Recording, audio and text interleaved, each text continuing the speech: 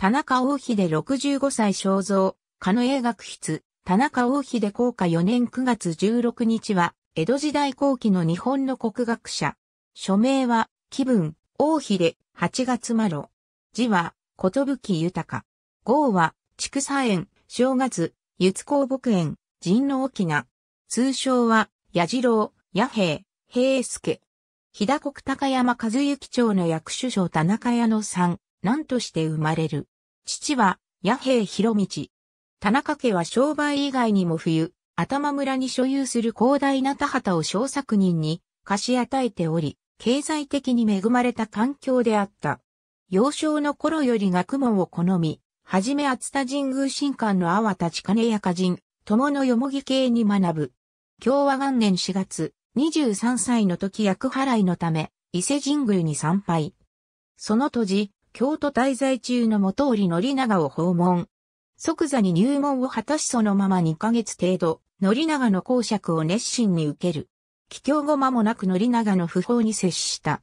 宣長の志士、元織太平は、生涯の私有となった。今日は3年、兄9名が溶接したため、26歳で家督を継いだ。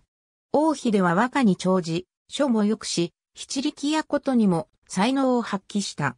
文化5年、こと死玉堂と名乗っていた、浦上極道が、鉱山の王秀を訪ねた記録が見られる。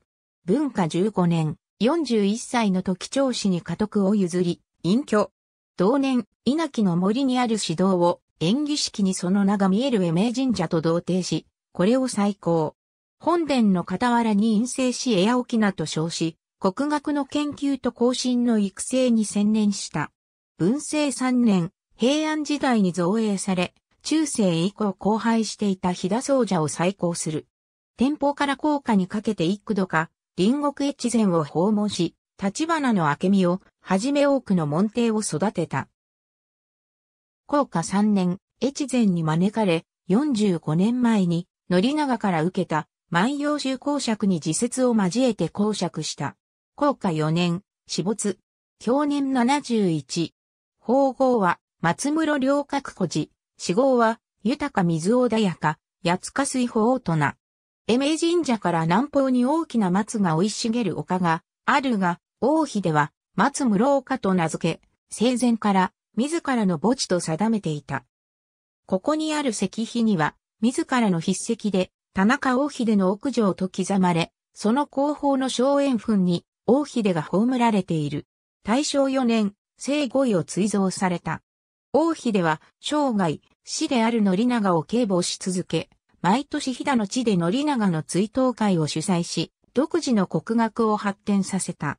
研究においても、宣長の古事記伝の流れを組み、緻密で博識であった。竹取、沖縄物語会は、当時から評判になったが、今日でも古典に興味を持つ研究者には必読の書である。田尻左辺、増位所見伝蔵保番上特使増位年表 P36。ありがとうございます。